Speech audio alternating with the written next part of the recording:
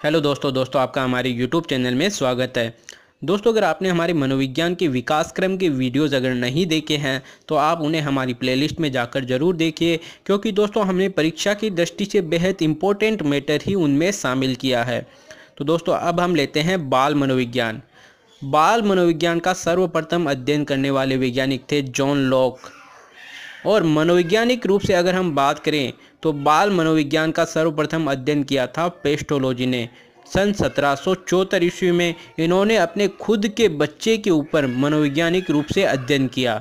इसके 10 साल बाद में सन सत्रह सौ चौरासी में टाइडमैन ने खुद के बच्चे पर प्रयोग किया था।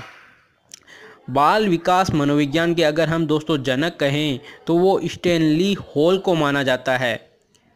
दोस्तों, इन्होंने सन अठारह ईस्वी में अमेरिका के एक स्कूल में बालकों को, बालकों के मन का गहन अध्ययन किया।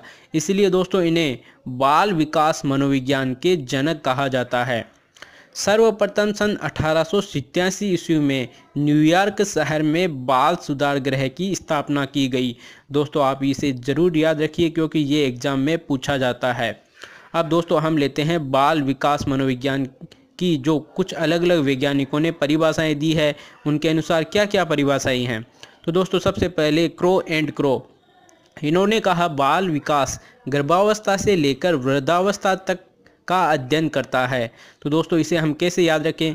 दोस्तों मानव की पर, प्रवृत्ति को अगर हम देखें तो वह जब जन्म लेता है तो जन्म से ही कुछ ना कुछ करना प्रारंभ कर देता है और तब तक वो वृद्ध नहीं हो जाता तब तक कुछ ना कुछ करता ही रहता है। अर्थात दोस्तों, क्रो एंड करो मतलब करता रहता है, क्रो, करो, वो यही बोलता रहता है कि कुछ ना कुछ करते रहो करते रहो, अपने दिमाग को बिज़ी रखो। तो दोस्तों, हम ये याद रख सकते हैं कि बालक का जन्म होता है गर्भावस्था के बाद और मृत्यु पर्यंत मतलब जिसे हम कह सकते हैं वृद्धावस्था। तो गर्भावस्था के जन्म से बाद और वृद्धावस्था तक वह कुछ ना कुछ करता है। तो इसे हम ऐसे याद रख सकते हैं। आगे हैं दोस्तों, जेम्स ड्राइवर इन्होंने कहा, बाल विकास सभी अवस्थाओं में लक्ष्य निर्धारित कर अपने असली लक्ष्य तक पहुँचता है। तो दोस्तों, इसे हम कैसे याद रखें?